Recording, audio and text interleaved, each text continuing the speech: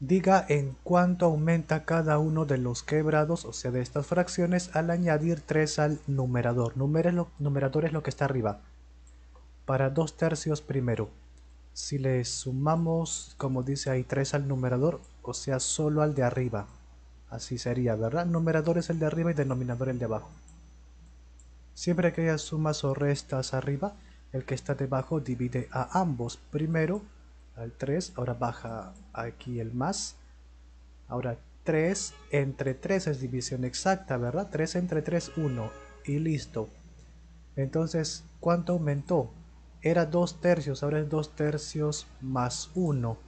Entonces podemos colocar aumento en 1. Le ponemos así. Ya está. Y listo, ya está para el primero. Ahora el siguiente. Para el 4 quintos.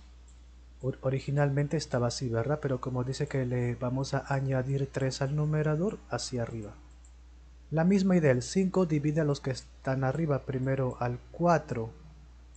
El más, ahora 3 entre 5 no es división exacta, así que se queda como está. Así nada más. Aumentó, ahí está. Esta vez, ¿cuánto aumentó? Eh, aumento, ponemos,